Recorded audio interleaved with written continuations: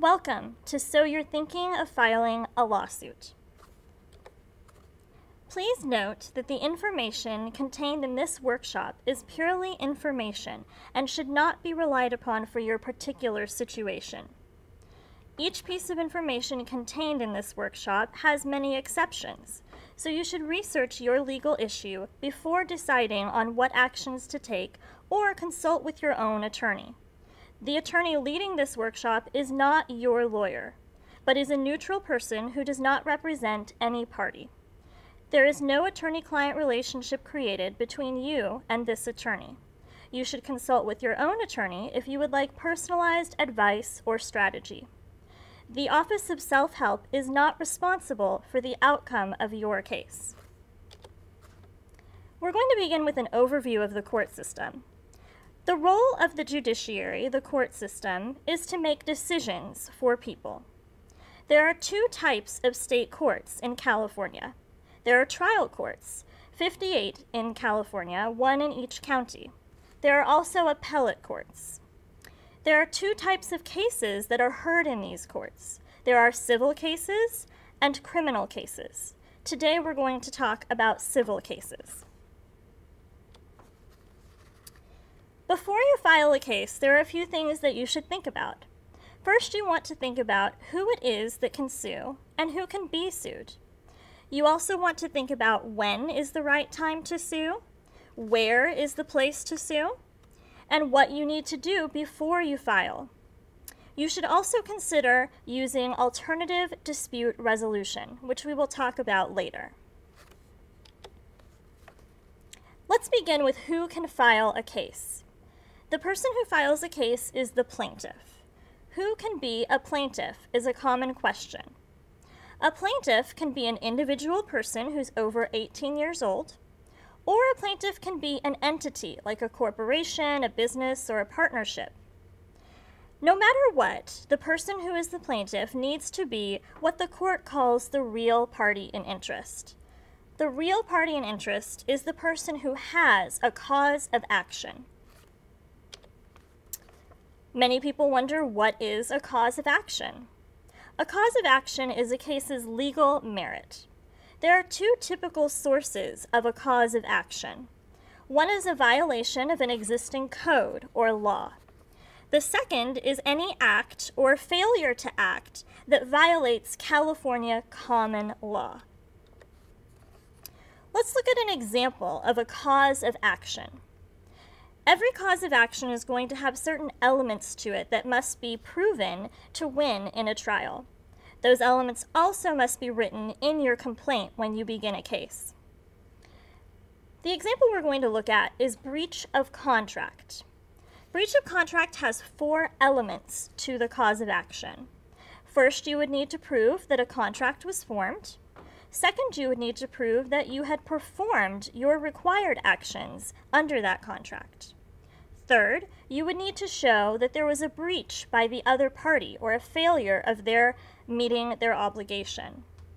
And finally, you would need to establish that you had suffered damages as a result of the other party's breach. The next question you may look at is who can be a defendant or who can be sued? Similar to a plaintiff, a defendant can be an individual person or an entity. When you're naming a defendant, you want to be careful and name them correctly, depending on the type of defendant they are. For example, if you are naming an individual person as a defendant, you want to name them by their full name. If you're naming an entity, it's going to depend on the type of entity that you are naming. If you're naming a business, you can place the name of the owners of that business as your defendant. If you're naming a corporation, you'll want to use the exact name of the corporation as they have filed. When you are thinking of who to name as your defendant, you may need to do some work to locate or identify that defendant. There are a couple of resources available to help you do this. If you have an old address for the defendant, you can use the U.S. Postal Service to see if they have a change of address on file. If you have an old phone number for the defendant, you can use a reverse phone directory to look up their name. If you have a name or an address, you may be able to use tax assessor's records in your local county. If you are suing a partnership or a business with only one owner, you can find the names and contact information for those owners at your county clerk's office. Continuing with locating a defendant. You can locate defendants in different ways, depending on the type of defendant you're trying to name. For example, if you're trying to name a corporation, you can find out the corporation's name and their agent for service through a website organized by the California Secretary of State. There are also paid internet searches that can help you find individuals and other entities. A common question that people think about before filing a case is when should I file my case or when should I sue? You have to file your claim within a certain time limit called the statute of limitations. Each cause of action is going to have a different time limit assigned to it. The statute of limitations is what determines whether or not a court can hear and make a decision in your case. If you do not file your case within the statute of limitations time limit, you will lose your case automatically, no matter how strong your case is. On the slide, you will see that I have listed some examples of time limits for different types of cases with different causes of actions. But please be aware that these are merely examples. You should not rely on these for your own situation.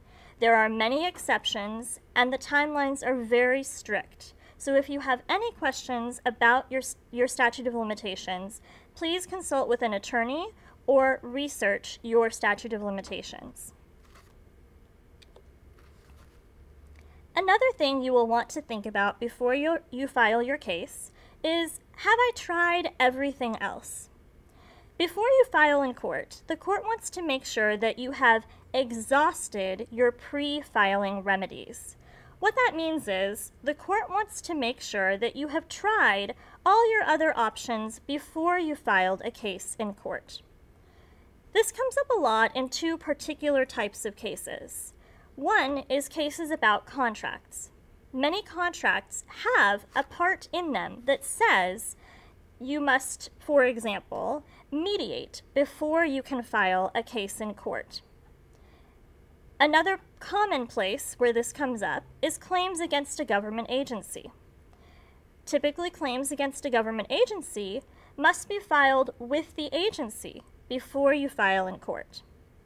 When we talk about exhausting your pre-filing remedies, you must take these steps before filing your case in court. If you do not, the defendant can note this to the court, and the court may dismiss your case in order for you to go and complete the action that you were supposed to do before filing your case.